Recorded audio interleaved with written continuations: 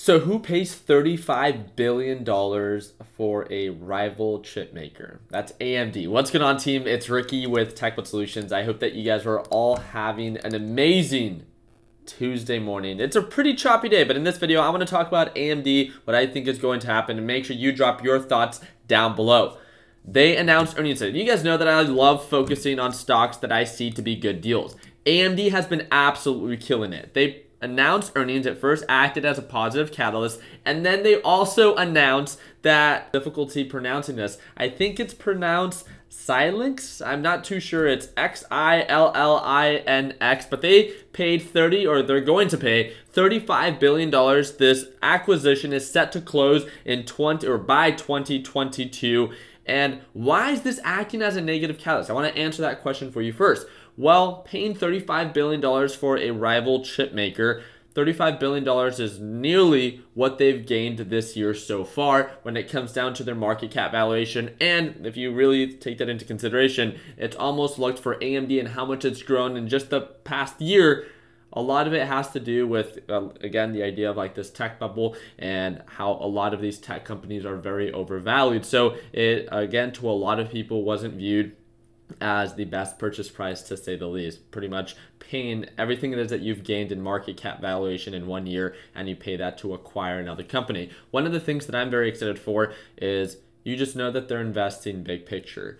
AMD has pretty much taken over Intel, which was again the previous world leader in these manufacturers of these chips. And the really cool thing about this partnership, according to what I've learned about this deal, is that again, I have a lot of trouble pronouncing this company's name, but it's Silence. And due to this acquisition, they think that they will have the proper edge to make sure that they take over the previous market cap that Intel had, which will only put AMD more ahead in comparison to the already falling Intel Corporation. And the reason that this is so exciting is, yeah, right now the market might be pulling back just a little bit, and it can continue to sell off, of course, if more, let's say, unfortunate news or there's a lot of selling pressure. But one of the things that we have to take into consideration as of right now is AMD was due for a pullback. I mean, if you guys look at it, it's it's been on a strong streak for a very long period of time.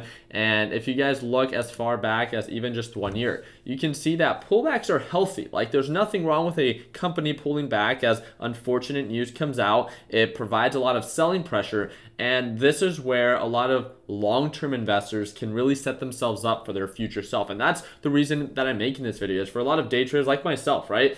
yeah, AMD might not be something that I would care too much about. But for my long term portfolio, AMD is killing it. AMD is investing in the future, right? We've seen Facebook make a lot of acquisitions like this where they, yeah, maybe overpay for a company as of right now, but big picture, this is an investment for the future, which will only take AMD to the next level and so on. So, this is why I wanted to talk about this. I see this little pullback as a dip buy opportunity. Can it continue to sell off? Of course, anything can happen, especially with all the news of the election. There could be a lot of inconsistencies when it comes down to that. But what I want to pay attention to is on this 180 day chart, just looking at previous support levels, it's right around $75. Uh, and you can see that as soon as this earnings came out and we saw a negative catalyst, it almost tested that same general support range, which is right around $75. So I would expect there to be a potentially strong support level right there. But of course, if more unfortunate news comes out, if something to do with the election, if something to do with the second stimulus check comes out and acts as a negative catalyst, then of course we can see AMD continue to blow past that support.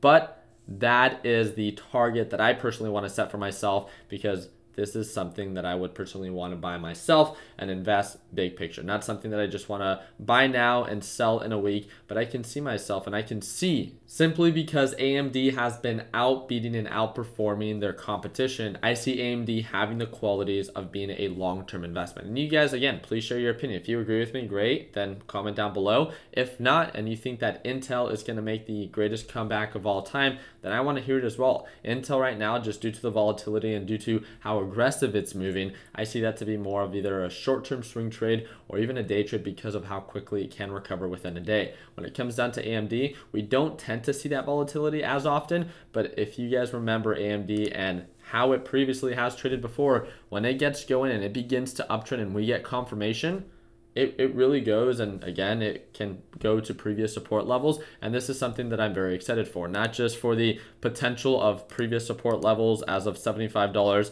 and the previous resistance levels of right around 88 to $90 that 20% potential return is great, but thinking big picture and how they continue to reinvest for their future self, then I want to make sure that I do my part in buying when everyone else is selling in effort to hold a position and be able to seek the benefits in the future. Again, one of the things that we love to remind you is especially if you plan to buy in early, that you need to watch your position size. We don't know how much more AMD can sell off. This news is very, very fresh and it can continue to sell off. And I'm just here to remind you that if you do plan to buy early, please watch your position size and effort that you can tolerate that movement and that risk as well. It's a quick stock that I quickly wanted to talk about. But again, let me know in the comment section what you guys think. I thought this would be a fun stock to talk about because of how trendy it has been in just the past year, its performance for the past year. It's pretty cool that they're acquiring and reinvesting into the future. And for our long term investors, I wanted to ask you